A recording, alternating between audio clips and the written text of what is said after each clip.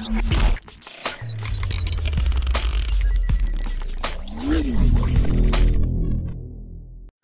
Friends sports பற்றின செய்திகளை உடனுக்குடனாக தெரிஞ்சுக்கொள்ள நம்ம தமிழ் கிரிக்கெட் சேனலை சப்ஸ்கிரைப் பண்ணுங்க. இந்த இரண்டாயிரத்தி பத்தொன்பதாம் ஆண்டில் மே மாதம் இறுதி முதல் ஒருநாள் போட்டிகளுக்கான உலகக்கோப்பை இங்கிலாந்தில் நடைபெற இருக்கு. இதற்காக பதினைந்து பேர் கொண்ட அணியை அனைத்து நாடுகளுமே வந்து அறிவிச்சு வந்துட்டு இருக்காங்க. இதில் இந்திய அணியில் பார்த்தீங்க அப்படின்னா ரோஹித் சர்மா ஷிகர் தவான் விராட் கோலி விஜய் சங்கர் மகேந்திர சிங் தோனி கேதர் ஜாதவ் ஹார்திக் பாண்டியா புவனேஸ்வர் குமார் பும்ரா யுவேந்தர் சஹால் குல்தீப் யாதவ் ரவீந்திர ஜடேஜா கே எல் ராகுல் முகமது ஷமி தினேஷ் கார்த்திக். இவங்கெல்லாம் வந்து இடம் பிடிச்சிருக்காங்க. இதுல மாற்று விக்கெட் கீப்பரா தினேஷ் கார்த்திக் வந்து இடம் பிடிச்சிருக்காரு. ஏன் இந்த இடத்துல ரிஷப் பண்ற தேர்வு செய்யல அப்படின்னு பல்வேறு சர்ச்சைகள் வந்து வெளியாகிட்டு இருக்கு. அதே போல விஜய் சங்கர் நாலாவது தேர்வு செஞ்சதும் பல கேள்விகளை வந்து எழுப்பியிருக்கு அப்படின்னே சொல்லலாம். ஏன் அப்படின்னா அம்பத்தி ராயுடு வந்து தொடர்ந்து இந்திய அணியில ரொம்ப நாட்களாகவே விளையாடிட்டு இருந்தாரு. இருந்தாலும் தற்போது அனுபவம் இல்லாத விஜய் சங்கரை தேர்வு செஞ்சதுக்கு பல பேர் வந்து எதிர்ப்பு தெரிவிச்சிட்டு இருக்காங்க.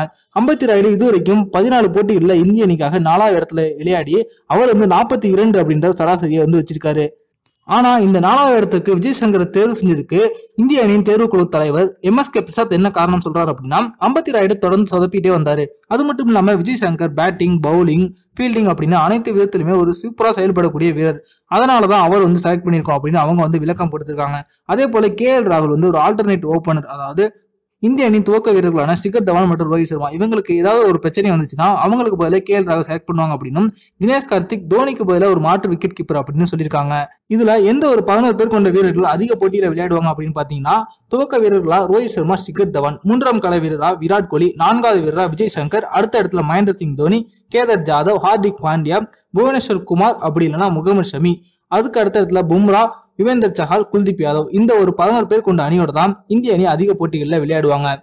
இதுல இந்திய அணி விக்கெட் கீப்பரான மகேந்திர சிங் தோனி மற்றும் ஆல்ரவுண்டரான ஹார்திக் பாண்டியா இவங்க இரண்டு பேருக்கும் ஒரு சிறிய அளவிலான உடற்தகுதி பிரச்சனை இருக்கு அப்படின்னே சொல்லலாம். மகேந்திர சிங் தோனிக்கு இந்த ஐபிஎல் போட்டியில முதுகுவலி பிரச்சனை ஒரு பெரிய தலைவலியாகவே இருக்கு. அதை அவரே வந்து சொல்லியிருக்காரு. உலகக்கோப்பை போட்டிக்கு முன்னர் இந்த முதுகோலி பிரச்சனை வந்து எனக்கு முழுவதுமா குணமாகணும் அப்படின்னு நான் வந்து வேண்டிட்டு இருக்கேன் அப்படின்னு அவர் வந்து சொல்லியிருக்காரு. அதே போல ஹார்திக் பாண்டியா ஐபிஎல் போட்டிக்கு முன்னர் பல முறை வந்து உடற்தகுதி பிரச்சனையில சிக்கி ஒரு சில தொடர்களில் ஆடாம அவர் வந்து ஓய்வு கொடுக்கப்பட்டுச்சு. இந்த இரண்டு முக்கியமான வீரர்களும் உலகக்கோப்பை போட்டி துவங்குவதற்கு முன்னதா நூறு சதவீத உடல் தகுதியை எட்டிட்டாங்க அப்படின்னா அது வந்து இந்திய அணிக்கு ஒரு சிறப்பான விஷயமாவே இருக்கும். இந்த உலகக்கோப்பையில உடற்தகுதி அப்படிங்கிறது இந்தியாவுக்கு ஒரு பெரிய எதிரியா இருக்கும் அப்படின்னே பார்க்கப்படுகிறது. அதே போல கேதர் ஜாதவும் அடிக்கடி உடற்தகுதி பிரச்சனையில சிக்கக்கூடிய ஒரு வீரர். அதே போல இந்திய அணியில பாத்தீங்க அப்படின்னா நான்காவது வேகப்பந்து வீச்சாளரா ஒரு ஆப்ஷன் யாருமே செலக்ட் பண்ணல. உமேஷ் யாதவ் எடுப்பாங்க அப்படின்னு பார்த்த நிலையில அவங்க வந்து ரவீந்திர ஜடேஜாவா ஒரு ஆல்ரவுண்டரா எடுத்திருக்காங்க. அதற்கு முக்கிய காரணம் என்ன அப்படின்னா ஹார்திக் பாண்டியாவுக்கு எதுவும் காயம் ஏற்பட்டுச்சு அப்படின்னா அப்படி இல்லைன்னா கேதார் ஜாதவுக்கு எதுவும் காயம் ஏற்பட்டுச்சு அப்படின்னா அந்த இடத்துல ரவீந்திர ஜடேஜா களமிறக்கப்படுவாங்க.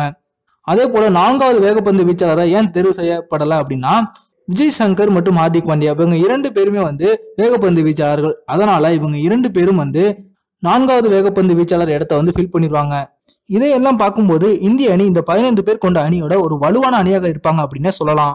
இதுல இடம்பெற்றிருக்க வீரர்கள் யாரும் ஒரு உடற்தகுதி பிரச்சனையில சிக்காம அவங்க வந்து முழு உடற்தகுதியுடன் இந்த போட்டியை எதிர்கொண்டாங்க அப்படின்னா கண்டிப்பா உலகக்கோப்பை இந்திய அணி கிடைக்கிறதுக்கு அதிக வாய்ப்பு இருக்கு அப்படின்னே சொல்லலாம். அதே போல அனுபவமற்ற இளம் வீரரான விஜய் சங்கர் வந்து நான்காவது இடத்துல களமிறக்கப்பட போறாரு. இவர் வந்து எந்த ஒரு பதற்றமும் இல்லாம அனைத்து போட்டிகளிலுமே ஒரு சிறப்பான ஆட்டத்தை வெளிப்படுத்தினார் அப்படின்னா அது இந்திய அணிக்கு ஒரு கூடுதல் பலமாகவே இருக்கும். அதை செய்ய தவறி அவர் வந்து உலகக்கோப்பை போட்டி அப்படிங்கிறதுனால ரொம்ப பதட்டம் அடைஞ்சிட்டார் அப்படின்னா அது வந்து இந்திய அணிக்கு ஒரு பெரிய பின்னடைவை ஏற்படுத்தும் அப்படிங்கிறதுல எந்த ஒரு சந்தேகமும் இல்லை. இந்த மாதிரி சின்ன சின்ன தவறுகளை எல்லாம் இந்திய அணி சரி செய்து கொண்டாங்க அப்படின்னா கண்டிப்பா இந்த உலகக்கோப்பையில இந்திய அணி ஒரு மிகப்பெரிய தாக்கத்தை ஏற்படுத்தும் அப்படிங்கிறதுல எந்த ஒரு சந்தேகமும் இல்லை. இந்த வீடியோ உங்களுக்கு பிடிச்சிருந்துச்சுன்னா லைக் பண்ணுங்க ஷேர் பண்ணுங்க. நன்றி.